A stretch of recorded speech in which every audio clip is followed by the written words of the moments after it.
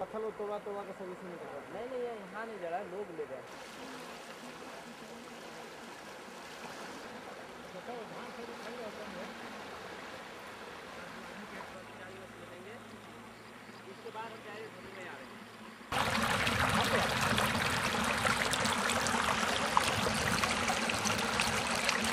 विकास मंत्रालय भारत सरकार के